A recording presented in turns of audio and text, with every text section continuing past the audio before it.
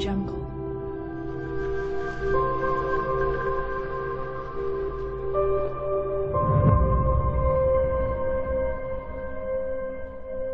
Audio Jungle.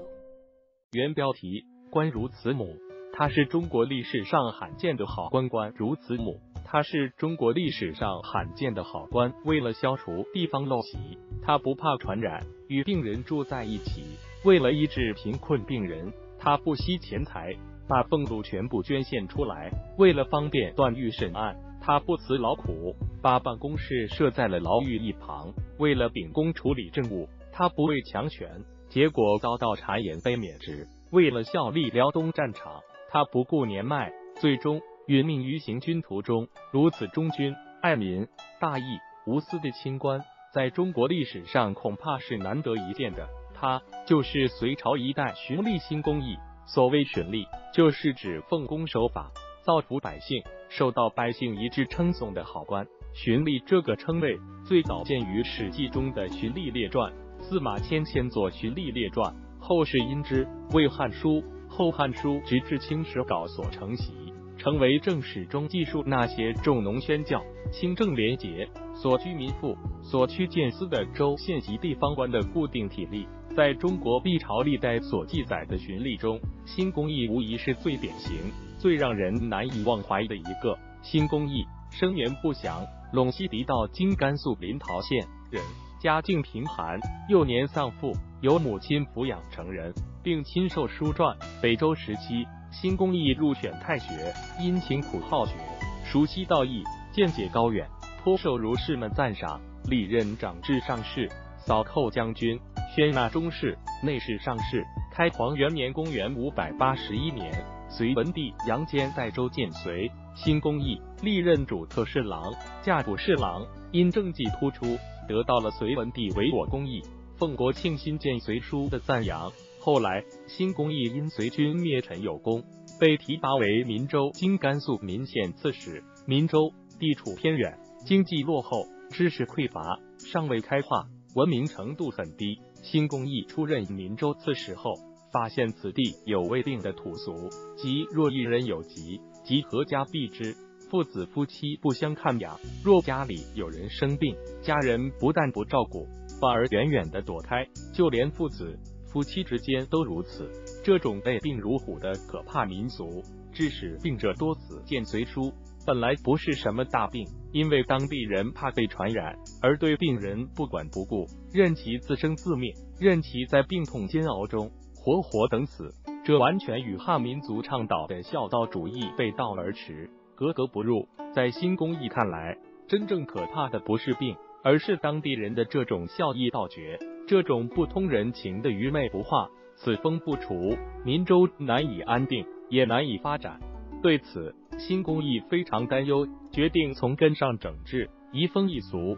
公义患之，欲变其俗，见隋书，主意已定。新公义派人分头去巡视泉州，发现患者，一律抬至官衙厅堂，请医生为他们诊治。酷暑，疫情高发时节，厅堂里的病人多达数百。走廊也住得满满的，为便于照顾病人，新公义则亲设一榻，独坐其间，终日怜惜，对之理事，一边就地办公，一关心治疗。此外，新公义还将所得之俸禁用施药，为营医疗之，公劝其饮食。见随书，把俸禄全部捐献出来，为病人求医买药，供给饮食。在新公义的精心护理下，许多病人都转危为安，渐渐恢复了健康。待病人痊愈后，新公义派人找来其亲属，推心置腹的当面对他们说：“一个人生死由命，与接触病人身体无关。之前你们因为怕传染，对病人不管不顾，他们才会死去。你们看，如今我把病人都聚集一起，日夜坐卧在病人中间，我不是没被传染吗？”这不是好好的吗？从此以后，你们就不要再相信那些土俗了。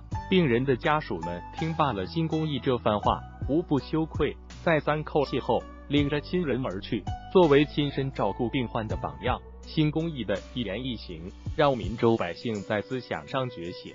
此风岁革，后人有遇病者，征就使君，其家无亲属，因留养之。从此以后，百姓凡有生病者，其家人都会带着病人争相到新公义那里去接受救治。对无亲属的病人，新公义则把他们留下来供养。民州境内出现了使乡慈爱的凉风，何境之内呼为慈母，见隋书。民州百姓发自肺腑的称新公义为慈母，因官封好，口碑佳。在治理好民州后，新公义又被派往牟州（今山东莱州）担任刺史。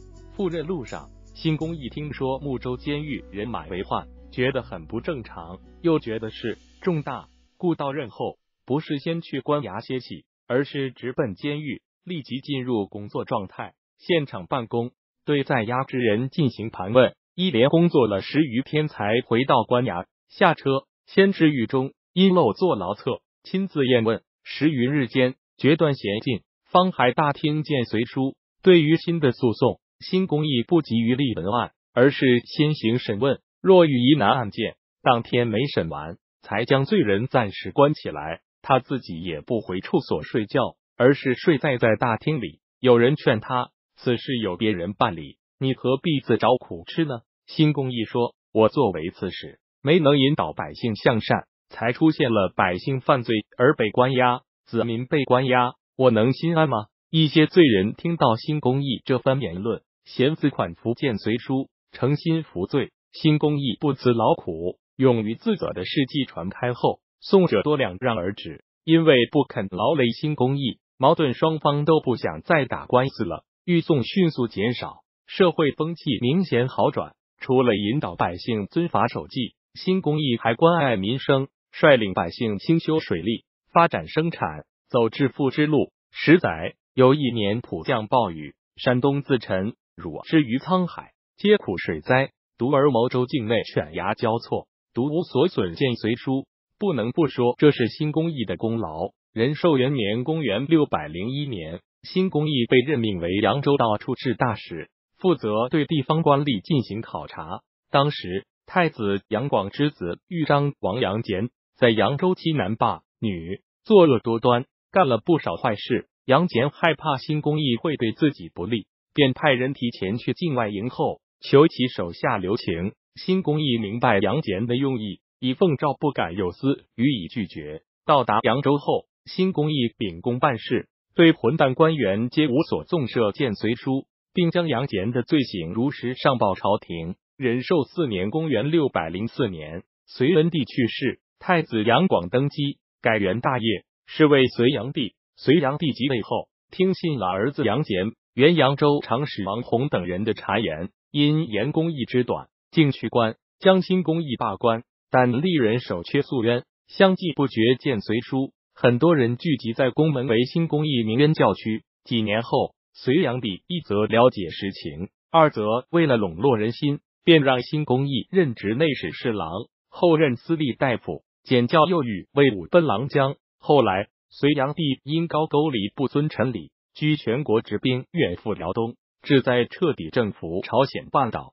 年过花甲的新公义也在随行队伍中，因为年老体衰，新公义在大军行至柳城郡（今辽宁西部）时病亡，一代宣力竟客死他乡，时年六十二岁。新公义一生不仅爱民如子，亲力教化，为官一任，造福一方。而且不畏强权，公正廉明，深明大义。他对得起“慈母”这个称谓，也对得起他名字中的“公义”二字。本篇完。